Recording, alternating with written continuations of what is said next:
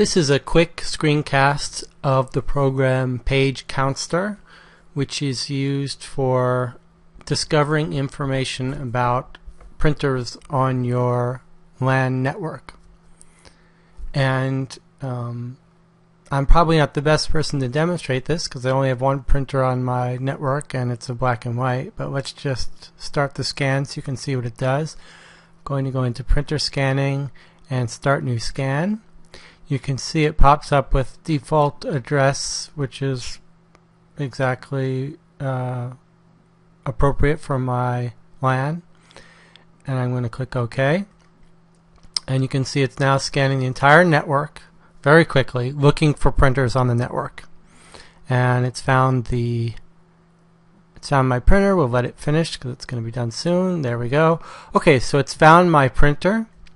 It's properly detected the model, its IP address, the page count of the printer. If it's a laser printer, it can show how um, full the ink tanks are. And this is, I guess, one of the main uses that the program was designed for was to um, for color printers to tell how much ink is left.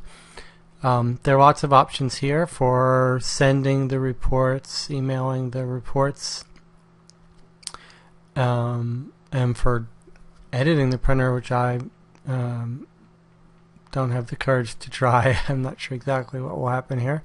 Um, I did want to show you one thing though that surprised me quite a bit, which was that I didn't even realize that the, my printer could be accessed and configured through the web.